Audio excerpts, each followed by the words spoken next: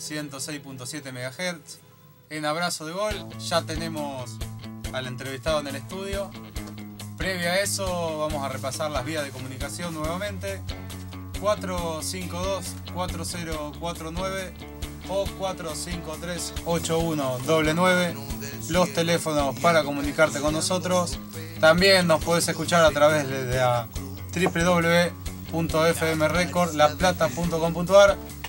no, también podés seguirnos a través de la red social en Facebook, Abrazo de Gol.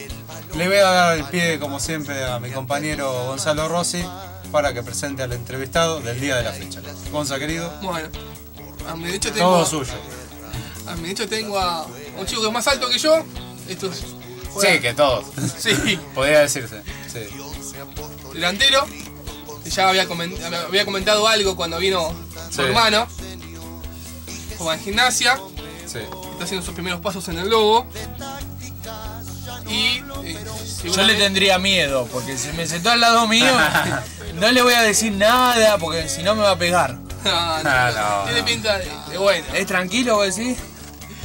Y si, ¿quién te dice que el día de mañana se enfrenten los hermanos, uno jugando en gimnasia y otro en estudiante? ¿Por qué no? Sí. El que se encuentra con nosotros es el señor Sebastián Cosimano.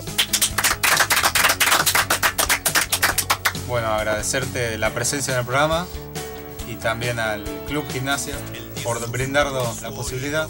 Siempre nos dan buenos entrevistados, tanto gimnasia, estudiantes, Villa San Carlos, Cambaceres Sí. también. Eh, de Villa San Carlos creo que vino casi todo el plantel. Sí, falta un poco para Sí. ver. Bueno, contanos hoy cómo estás en la actualidad. Eh, ¿Estás jugando? Bueno, primero que nada, buenas tardes. Sí, gracias bueno. por la invitación y a los chicos, la buena onda. Eh, sí, estamos eh, planteando un nuevo desafío que es eh, tratar de, de clasificar los cuatro primeros para poder jugar un- la final. Estoy, estoy en un buen momento, creo. Estoy, estoy también en lo personal planteando. Quedan libre esta fecha. Hablábamos fuera del aire. Sí, esta fecha nos queda libre. La anterior jugamos con Por otro lado, Seba, bueno, agradecerte el aire que hayas venido y me sumo al agradecimiento, agradecimiento se dice al Club Gimnasia de Crema de la Plata. ¿Nos podés recordar, eh, Seba, tus inicios en el fútbol? Yo empecé en el club Everton, igual mi hermano, eh, a los 6 años. Jugué casi 4 o 5 años eh, en el decano. Ya con la edad de 11 años fui al club gimnasia de Clima de la Plata y, qué clase de, de delantero sos? No te conoce. delantero de área, con, con buen físico, por ahí poca técnica, pero como yo, bueno, yo, con, con mucha potencia. ¿Sos de, de quedarte bien en, nue- en, el- en el centro del ataque o, o sos de tirarte por las puntas, un poco at- atrás para que te llegue la pelota? Depende de la situación de partido, si veo que, que el equipo no puede jugar por abajo, eh, trato de, de buscar por arriba porque soy muy alto y también si veo que el equipo se asocia bien, me trato de asociar con mis compañeros. Y al ser alto te buscan por arriba y es difícil eh, eh, esa pelea entre los defensores y vos, es complicada. Sí, cada vez se va haciendo más complicado. Yo en infantil eh, sacaba mucha diferencia en, en el juego aéreo. Ahora por ahí eh, gano, pero con, con más como complejidad, ¿no? Eh, los, los defensores se van haciendo más fuertes y cada vez se hace más complicado. Claro. Que el tiempo se, se hace más complicado. Me imagino. Contanos con quiénes jugás en el plantel. Y está, juego con Pacheco. Pacheco es- sería un palacio. Mirá. Juego con, con Miranda, con, con Palazzo, son los defensores, eh, con Rognoni, con el arquero Joaquín, un arquerazo. También con Rodri Gallo, que yo digo que, que es Cafú. Eh, contame un poco qué es jugar en la, en la Liga Amateur. eh, y bueno, justo hoy jugaba Everton con Tolosano. ¿Y qué se siente jugar un clásico? Porque tenés varios clásicos en la liga. tanto Everton con Montoro y Everton con, con Alianza. Sí, el otro día estaba hablando con los chicos ese tema y yo les dije que, que lo que te da la liga no te lo da ninguna, ninguna, otra, ninguna de las otras ligas. Claro. Te da como, como una especie de potrero que, que otra liga, esta liga, la de AFA, por ahí no te la da. Claro. Claro, es cierto. Hay que bancarla. Para ir a jugar de visitante no, sí. no es fácil. Me ha tocado presencial y no, no es sencillo. ¿Y has jugado clásicos contra estudiantes o todavía no? Sí, ya jugamos tres clásicos. Eh, perdimos uno, empatamos uno y ganamos uno. Ah, bien. Ah, bien, parejito. Bien, parejo. Eh, igual en, en los últimos tiempos le venimos ganando muy seguido. Ah, Ajá, mira, mira el título que tiró, ¿eh? Bien. Bueno, y para cambiar un poco de tema, contanos con quiénes viniste hoy, quiénes te acompañan. Vino mi abuelo desde Saliqueló, le mando un beso a todos Saliqueló y en especial a mi tío Rafael, que me está escuchando. Imagino aprovechó el fin de semana largo. Sí, vino por el Día del Padre, vino a Muy bien. acá. Y vino mi papá que me acompaña siempre, a todos lados. Muy bien. ¿Hay regalo para el viejo ya para el domingo? Y seguro algo le vamos a regalar. Acá me están diciendo otra cosa. Yo le digo que el regalo, el Día del Padre es todos los días. claro. Es buena. Sí. Es buena para no regalar. Es buena, es buena. Vamos a preguntarle al abuelo, porque el abuelo me dijeron que jugó en un equipo de Saliqueló conocido. ¿Puede ser? Puede ser, sí. eh, yo en realidad soy de Villamasa. Y me fui a vivir a Sariqueló porque hay un club que me pidió poder jugar con que fuera a jugar con ellos. Y tuve la suerte de jugar con un- el, el jugador que me llevó es el papá de Franco Niel. ¡Oh! Mirá. Mirá Y, vos. Gran jugador, ¿eh? Eh, Franquito, si me estás escuchando, por favor no te enojes, pero me parece que el papá jugaba, era un- una, barbaridad como jugaba. Y bueno, ahí hice dos años en el club Jorge Newbery, después jugué cuatro años en el club, eh, bueno, y después eh, cuando nos tocó el servicio militar, fuimos con el papá que le decíamos Pilín a, a, Daniel, y tuvimos, tuvimos un paso por Olimpo de Bahía Blanca y después fuimos en el servicio, ya ahí nos cortaron la carrera. Pero bueno, después volvimos y yo jugué unos años en el Rover y después lo dirigí en el año 78 hasta el 81. Y bueno, es una experiencia más. Y ahora, viste, dejé el fútbol, pero ahora me tuve que prender de vuelta con mis nietos. No te quedó otro. No, no. y no quedó. Los vengo a ver cuando puedo, viajo. Estoy 600 kilómetros de acá. Ah. Entonces, este, me, me hago el viajecito. No queda otra. Seba, tanto tu abuelo como, como tu papá Walter son de aconsejarte cuando, cuando te ven después de, de los partidos. Sí, siempre, termina el partido, nos ponemos a charlar de... Todos somos futboleros, así que todos opinan de- del partido. Claro. Y encima, papá te, te podría aconsejar porque jugó en estudiantes. Sí, ya sabe lo que es estar en un club grande. eh, me, me recomiendo todo lo que, lo que para su modo tengo que hacer. Y bueno, siempre escuchando y sacando mejor. ¿Y cómo llegaste al Lobo? Eh, un día estaba, estaba en, mi casa yo, estaba en el patio, en la vereda, y pasa un, técnico, un amigo del barrio, que era técnico en ese momento de, gimnasia, y me dijo que vaya, que había prueba. Yo no, le presté mucha atención, se lo comenté a mi papá y me dijo que, que vaya, que era una linda oportunidad. Y bueno, me prendí y fui dos semanas de pruebas y ya que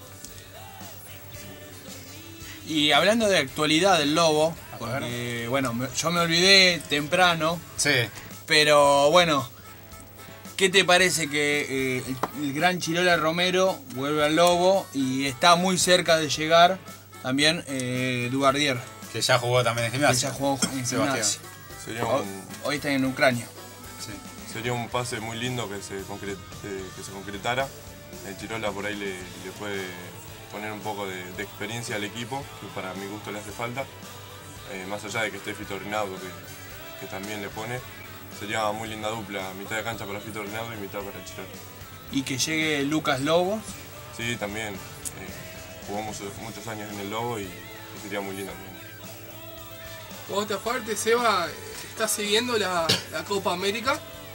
Sí, a full, me quedo todos los días a las 1 de la mañana mirando el partido. Porque Y- son tarde los partidos. ¿Y cómo ves al seleccionado nacional que mañana juega con, con Venezuela? Me encanta, Argentina en este momento me encanta.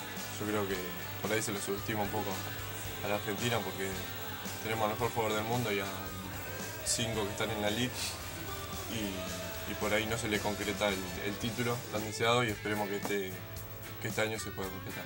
Sí, porque a ver, tiene todo para que se le dé. Quedó afuera Uruguay, que es histórico, gran campeón de la Copa América. Brasil también, que siempre es un favorito. Y Paraguay, que sin desmerecer por ahí eh, en menor rango, pero igualmente es una buena selección. Me parece que tiene todo como para que se le dé. ¿Y, y cómo ves, eh, Seba, la actuación siendo delantero de Gonzalo Higuaín?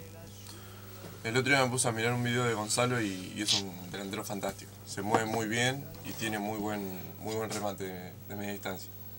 Eh, trato de aprender cosas de él mirando videos, y, pero también juega con jugadores que, que le dan pases y Claro. le dejan. Igual más, no desmereciendo el mérito, el, el mérito de Higuaín. Pero sí, sí, muy, muy buen jugador.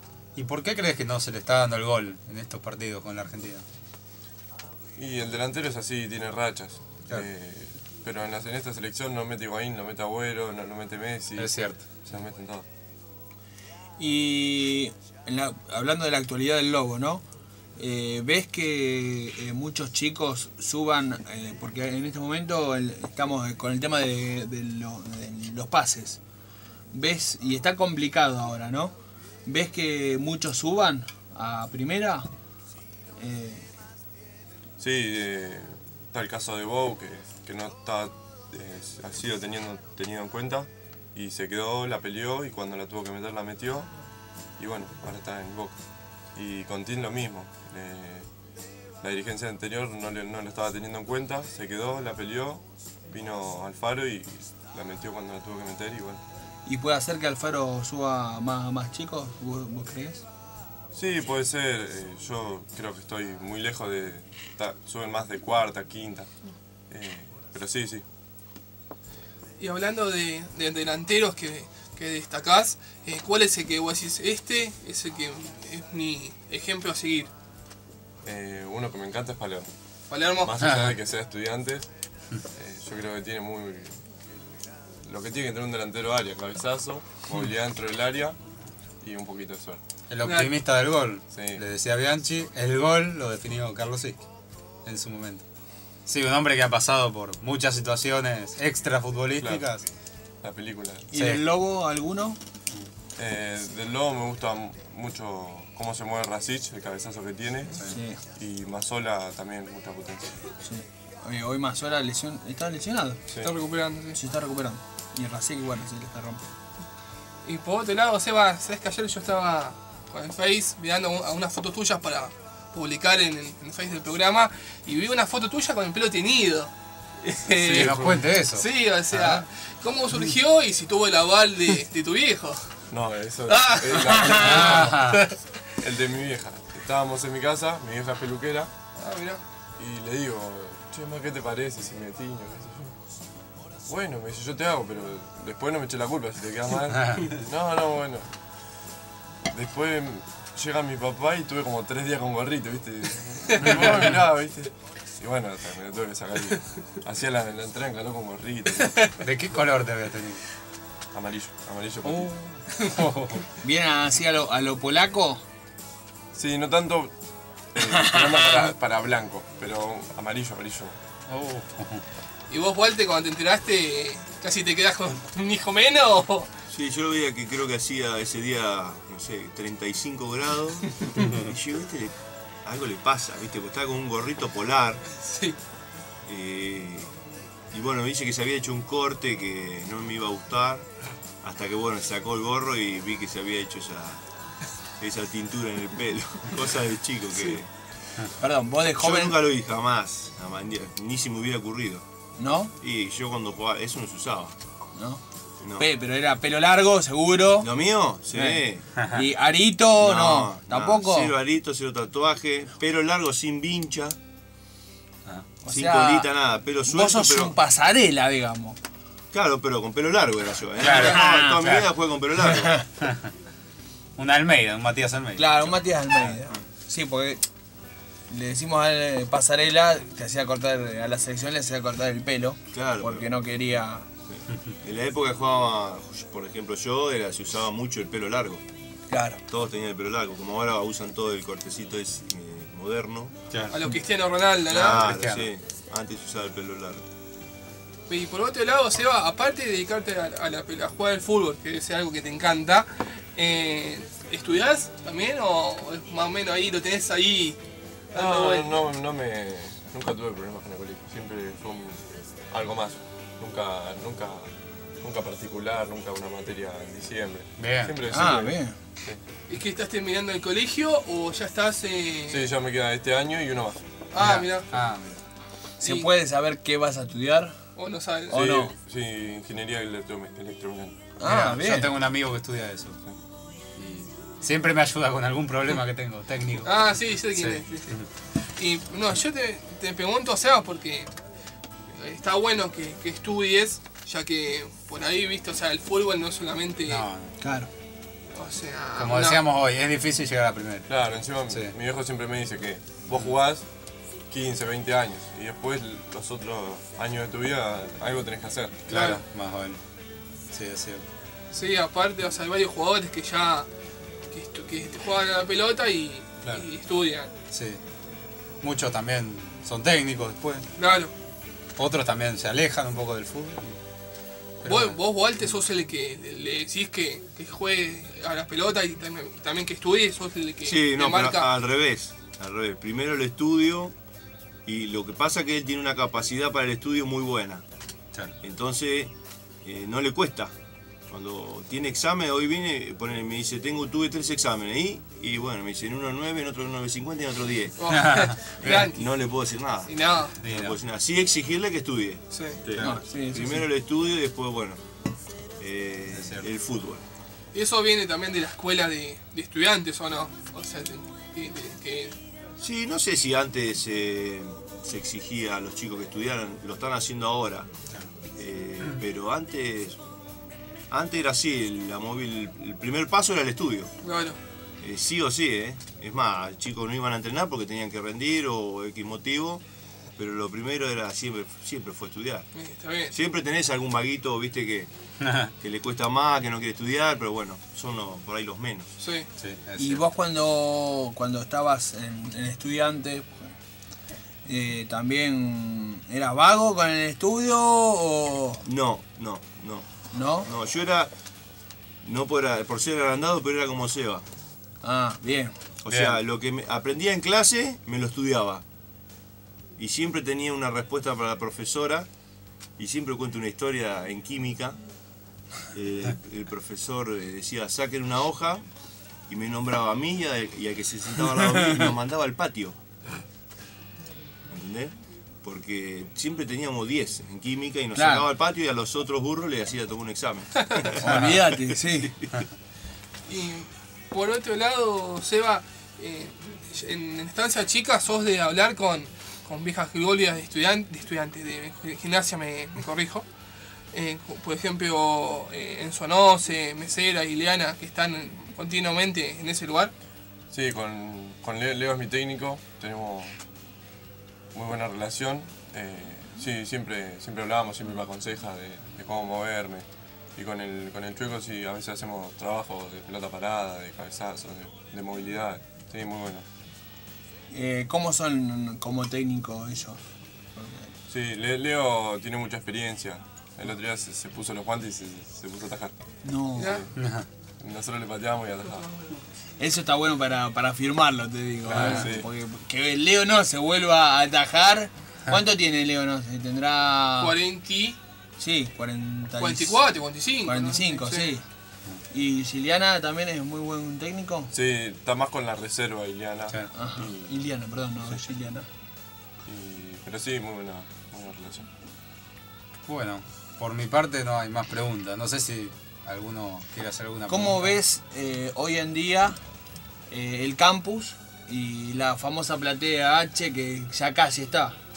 Sí, sería muy lindo que se, que se concrete lo de la platea. Y el campo el otro día entré y es un lujo, es lo mejor. ¿Sí? Sí, muy lindo. Está, eh, tenés agua, ahora tenés agua caliente, Sí, agua se caliente. puede cambiar uno. todo- La verdad tenés todo. Todos los jugadores tienen su casillero, todos tienen su... Que me, me alegra eso, que eh, mucho, hace mucho tiempo que, que Gimnasia no lo tenía y que bueno, que ahora lo tiene.